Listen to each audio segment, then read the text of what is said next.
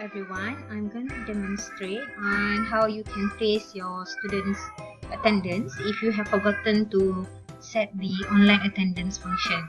So first go into your course, then look on the left, you can see reports, click reports, and then you can click logs so this is where you can explore what the participants who have entered your activities. Let's say you want to specify a certain activity to see who has uh, in. So choose that activity and then get the logs. Right. So from this, you can download it. Go down in the page and press download see now it's ready and open it. I'm going to use Excel for this. So now the file is open. As you see here uh, this is all the uh, records of students who has access for that specific event. Now uh, for you to generate who has attended just click on the left side in the worksheet and then go to data and then remove the duplicates. Choose the columns. I show again. Go to data menu. Then click this. Remove duplicates. Then we want to remove redundancy only okay.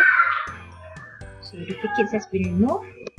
And under with the full name you can see the list of the students who has attended the session and this can become your uh, attendance uh, record. So you can print this or you can attach this together with your record, uh, attendance record.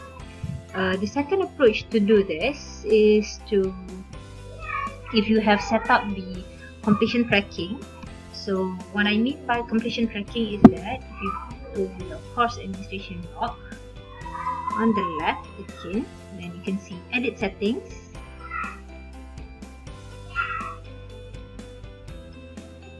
The edit settings. You can see um, the completion tracking. So click completion tracking and enable it. So the difference is that when you use completion tracking uh, let me demonstrate add one activity. So make sure that you have clicked turn editing on. So click turn editing on. I'm using a different layout here. I'm using grid layout. So I have these thumbnails. So let's say I want to edit here add activity. Then let's say you want to have choice function. So this choice function enables us to do something like polling. So press add.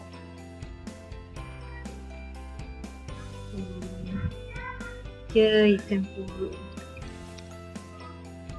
this because this is for polling. Then you can set up. Let's say what is the like this. This is just an example. Then here you can put choice. Uh, this is the highlight. Not activity completion. Here you can choose whether the student uh, three options on the completion tracking, and it will be uh, very good if you choose this. So it will, will automatically uh, monitor if the students have accessed that activity. You can fill this up.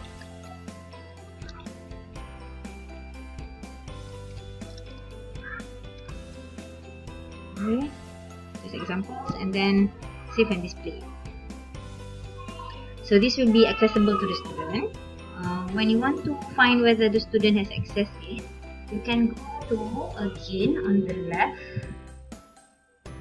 side. Let's go back to the course and then on the left you can see reports. Click reports.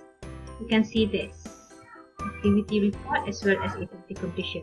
Click activity completion in activity completion you can see this. So these are all the um, records of student who has access. So the tick means the student uh, has completed.